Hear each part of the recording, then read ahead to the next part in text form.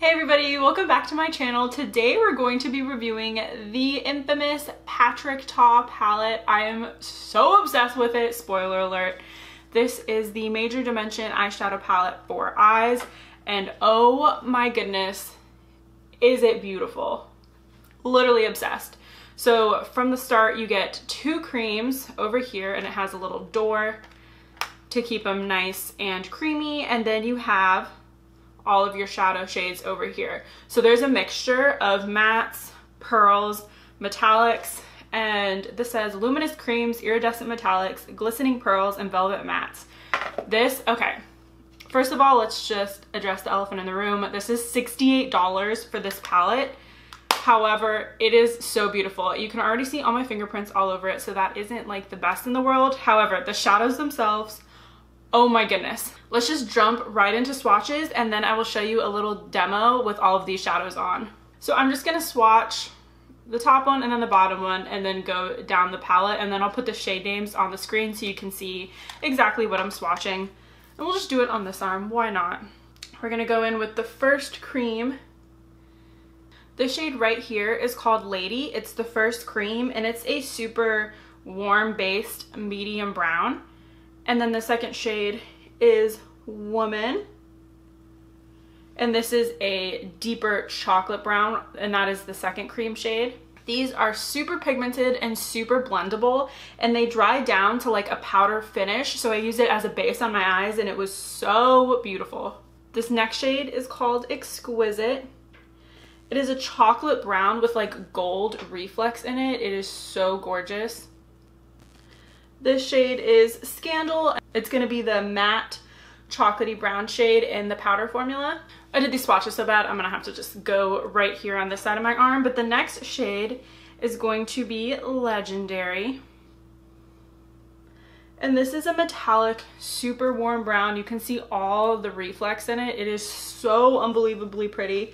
That would be so good as like an all over the lid color. And this next shade is called Mother. It's a little bit more red based than the one over here, so there is variations in the shades. On my arm, because I have such light skin, they're all gonna kind of look very similar, but just know they actually are very different. I'm just pale, so darker shades tend to look very similar on me. And this next shade here is called Lavish. I am absolutely obsessed with this one. It is like an orange-based light brown with very fine reflex in it. I have it all over my lid today and it is so gorgeous. I'm absolutely obsessed with that shade. And then the shade under it is called Absolutely and that is such a cute name. These shades are a little bit powdery, just a teeny bit for the mattes. They are velvety and they do blend super smooth and I don't find that they're patchy at all on the eye. But when you dip your brush into it and you put your finger in it, it is a teeny, teeny bit, like there is some kickback, but it honestly doesn't affect the eyeshadow look at all and it's actually really beautiful. And I think it works to your advantage. Like I don't want a really hard pressed eyeshadow that I can't blend. Now this next shadow is called Opulence and oh my gosh, it added so much shine and dimension to my look when I put it on the inner corner of my lid. Literally so beautiful. I think everybody's gonna love that shade. And then this next shade is called Transition. And you, as you can probably guess, it was the perfect transition shade for me. I'm gonna go up here now. I don't know, I, these were the worst swatches I could do. I'm so sorry. And now the next shade is Abundance. And this is like my favorite shade. It is this creamy, reflective, it's gonna blend in with my skin because it's like as pale as I am, but it's this really creamy and reflective, actual like opulent color. It is so beautiful. I'm obsessed with it. I put it in my inner corner. And then this shade, the last one, is called Divine, and it's a light peachy shade. Again, it's gonna be hard for you to see because of my own skin tone, but it's a light peachy shade with a lot of dimension in it. It is so unbelievably pretty. So here's all the shades all over my arm. So now that we did swatches, I'm going to show you a little demo of them on my eyes, how I got this look, and then we will jump into my review.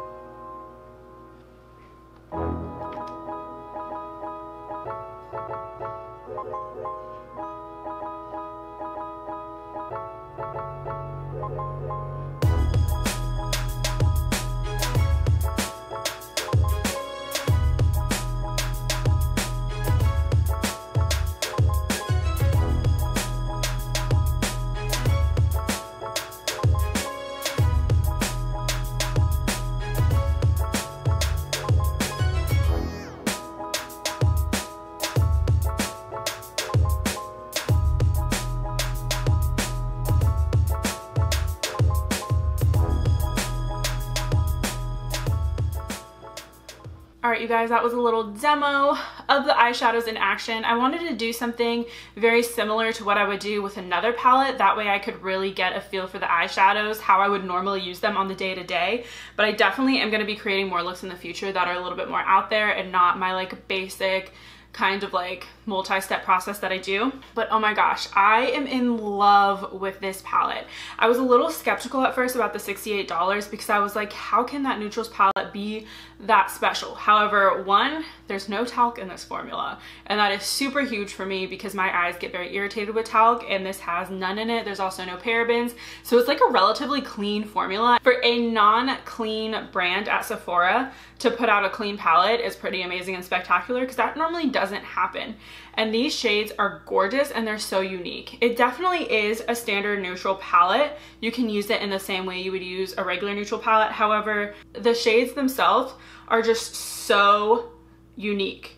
Like all of the mattes, I mean, you could probably dupe the mattes, but all of the shimmers and the iridescence, they're just so special. I love when they give you a matte, like this one right here. What is the shade? I think this is called Lavish. When they give you a matte that has a very fine um, it's like a matte base with a very fine glitter or shimmer in it. It is just so beautiful on the eye. And this really does give you the major dimension. Like I can totally see it. I love the concept. I love that there's the little window over the cream products and these perform super well. Sorry, I'm trying not to blind you, but I think it's happening. But overall, I think this is a very, very good neutrals palette. I think it's unique, and if you have a ton of neutrals already, I think this can still add so, so much to your looks. I definitely think this is gonna be my new favorite palette. But anyway, that is the review of this beautiful thing. Thank you guys so much for watching. I really appreciate it. And let me know down in the comments below if you're gonna pick this up or if you're gonna pass. I know it is a little bit expensive, but don't worry because I'm gonna be having another eyeshadow palette in the near future that is an affordable brand to review here as well. So we hit a little bit of everything. And all right, don't forget to like, comment, and subscribe, and I'll see you guys in the next video. Bye.